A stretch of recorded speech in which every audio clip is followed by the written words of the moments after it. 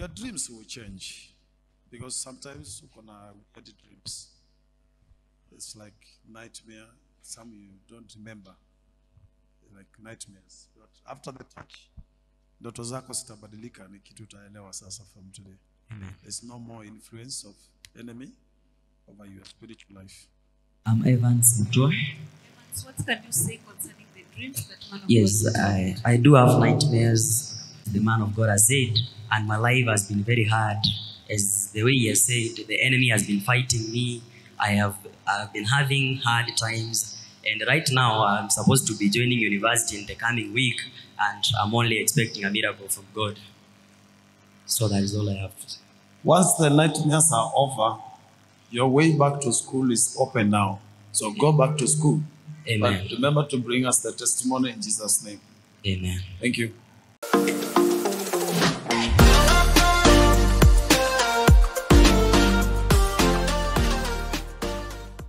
Karibu sana ndugu yetu, tuambie jina lako na umetoka wapi. I'm Mutua Evans from Machakos. Naomba utueleze ushuhuda wako. Uh, I have two testimonies. Eh? The first one was a prophecy last year, September. I came here when I was preparing to go to, go to the university. I had no support. My parents are not very able. My brothers are just struggling with their own issues. So when I came here, the man of God prophesied and said, I also went to the university without any support. So, with or without any support, you are going to go to the university and you're going to learn, and everything will be okay. I've been having hard times, and right now I'm supposed to be joining university in the coming week, and I'm only expecting a miracle from God. So, that is all I have to say. Once the nightmares are over, your way back to school is open now. So go back to school. Amen. But remember to bring us the testimony in Jesus' name. Amen. Thank you. So when the time came, I just traveled with a little ahead. I didn't even know where I was going to sleep and what I was going to do when I arrived at Kirinyaga University. So I just traveled to Kirinyaga University and I, I was admitted and everything was well and I'm now in the university. Now, the second testimony is uh, I came last month from the university and uh, I got a job uh, in a school because I'm a mathematics teacher. So last week on Thursday, something happened, and uh, it happened that a, a child was injured on my hands, and I was responsible because I was the one who was on duty and in the class. So the parent was very bitter, and uh, on that night, he called the director, and the director called me and said that the boy has been injured, and since I was the one who was there, I am accountable. So the next morning, the, the parent came with policemen, and I was arrested and was taken to uh, a certain small police station somewhere there in Mlolongo Phase 3. So when I arrived there, I, was, I wasn't even tensed. So I just sent a message to the man of God and explained the issue. And within three hours, I was released. And now that is my testimony. Let us put our hands together and celebrate the name of the Lord. Our brother, back to your first testimony, you have told us about you joining Ambas without no money and no support. Can you kindly tell us, after you arrived to Kirinyaga University, what happened? God do a miracle or what happened? So when I arrived in Kirinyaga University, I first didn't know the place. So I was just taken by a boda boda to the school. So arriving there, they were demanding the 7% that we had to pay before the HELB released the funds. So I went to the finance office and said, uh, because the man asked me if I had any parent with me, and I said, I am only alone. So he asked me, how much do you have? And I said, I have nothing. I don't have anything in my pockets, and the little I have, I can even, I, it is, I don't even know whether it will uh, afford to accommodate me. So he just stamped everything and signed everything, and then I was registered. How much was that little you had?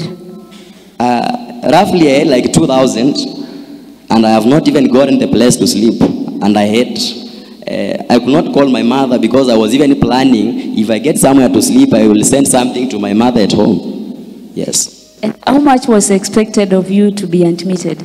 Uh, they expected like the 7% was like something like 15,000. 15,000 and you had only two. Yeah, I had 2,000 in my pockets. And then going to the medicine officer, uh, she said that I had to go for an x-ray. That was 500. So I, I prepared myself and went to the hospital for the x-ray. At the end of the day, I realized that I, I had like 1,500 or 1,200 in my pockets. I have not gotten the house. I don't know anybody. So, but I knew uh, even if I will sleep in a kibanda, uh, I better be admitted and everything else will come. Tell us about the prophecy which was given to you by the servant of God. What was going in your mind? You have the prophecy and you don't have cash. What was going in your mind at that particular time? Uh, Because I've been a Christian since I was a child, when the man of God prophesied to me, I had no worries and I was very confident that everything is going to be well because he just told me that just believe in God and everything will be okay. And for sure, everything has been well.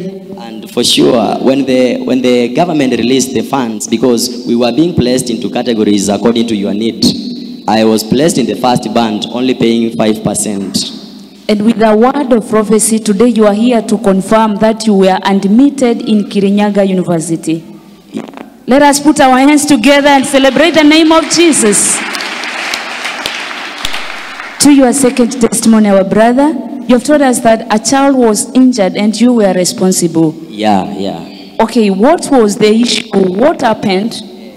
The child had an injury on the hand. Yeah, and because I was the one in class, I, had- I had to be responsible. Yeah.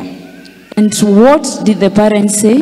So the parent, maybe when the parent called the director, we said, I said, if it is something like that, I can, I can manage to take the child to the hospital, then uh, can be accountable, and then I will pay for the hospital fee and anything else. But that was not the intention of the parent. I did not know.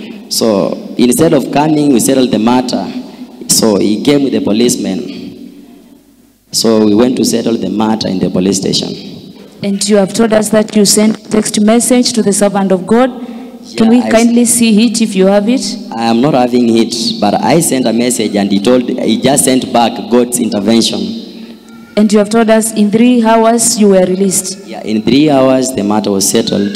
The madam who has employed me came and they said, though he was paid because he just wanted to be paid, by the way. Yes, he was paid. Let us celebrate the doings of the Lord in the house. We thank God for your testimony, our brother. That is the doings of the Lord. And every word spoken in this altar, it is of the Holy Spirit. And God is faithful to follow His word and perform it just like He has done it in your life to the glory and honor of His holy name. Thank you. Our viewers, we are still receiving testimonies from all the world. And that testimony comes from one of our brothers by the name of Mutua. He resides in Machakos County. And the nature of his testimony is God's intervention.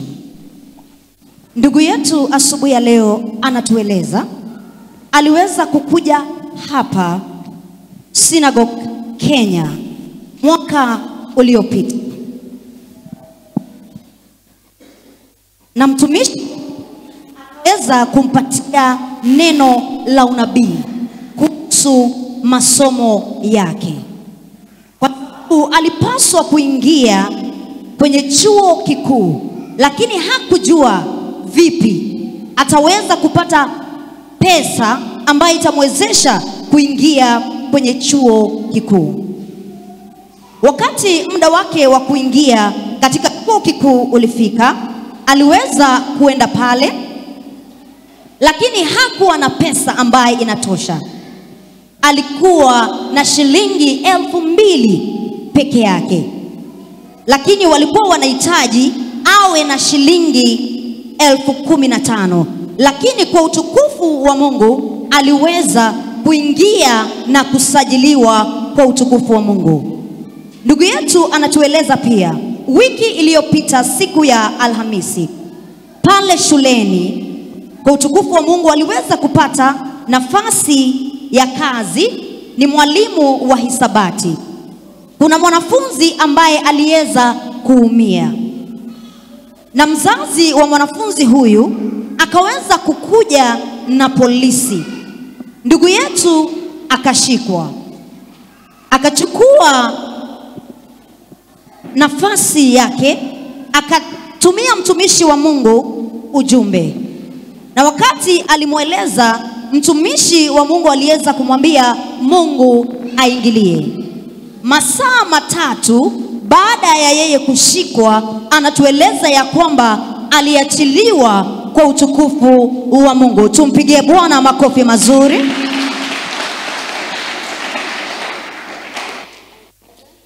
What can you tell someone who is here or is watching us uh, and is going through the same challenge? What can you tell someone? Just believe in God and have faith, hope, and nothing can ever kill hope. Amen. Amen. We thank God for you and we bless His holy name. Let us put our hands together and celebrate our brother in the name of Jesus. Thank you. Thank you.